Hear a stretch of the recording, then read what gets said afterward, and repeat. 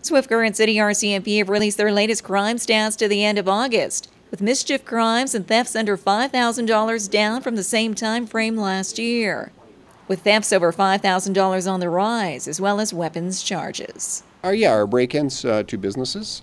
Uh, we had three in the month of August, one of those being the Swift Current Mall, in which five businesses were entered during that break-in. Yeah, we had a bit of a spike in our weapons offenses, uh, 16 for the year, and that's again up till the end of August, and that compares to eight uh, last year at this time and 10 in 2009. And basically, there's no trend re- indicating that, that there's a lot of firearms being used or anything. Weapons means basically uh, anything that can be used as a weapon. It can be a knife, a gun, uh, a plastic baseball bat, you name it. If you use something other than your hands or your feet uh, when you're assaulting somebody or when you're in a fight, then that's a weapon.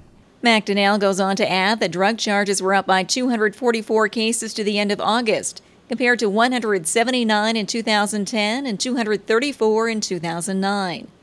With the RCMP maintaining a steady course on drugs, youth, and overall crime reduction. And the RCMP remind you to do your part in crime prevention by protecting your valuables in and outside of the home. We're still getting uh, thefts from cars, and for the 99 times out of 100, it'll be because the car is unlocked and valuables are left basically lying in plain view uh, for anyone that wants to help themselves too. So we strongly recommend that people always lock your vehicles, even if they're parked outside your residence, if they're parked in your driveway, you name it. Uh, vehicles are getting victimized in, in those locations as well. So, so please uh, keep your valuables out of plain view, certainly, and, and lock your vehicles.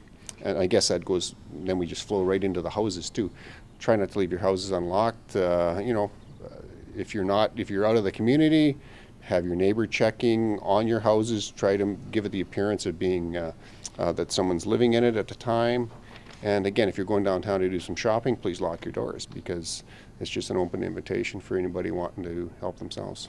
The Swift Current City RCMP make monthly presentations to City Council with updates on the latest crime stats from the community.